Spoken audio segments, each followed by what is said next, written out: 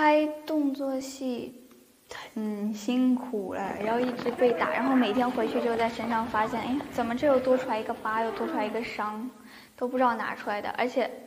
我这次打这个动作戏拍被人打了巴掌的戏，就我本来没有想到他会下手那么狠，一上来一个大耳光，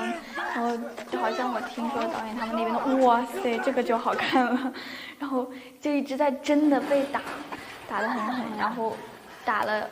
拍了几次以后，就最后一次打完以后，然后他们过来都一脸惊恐的看着我，就说你没事儿吧？然后说没事儿，然后我摸了摸鼻子，然后发现流鼻血了，我的天！然后就人生第一次流鼻血，在这个地方发生，我觉得挺有意思的，值得纪念。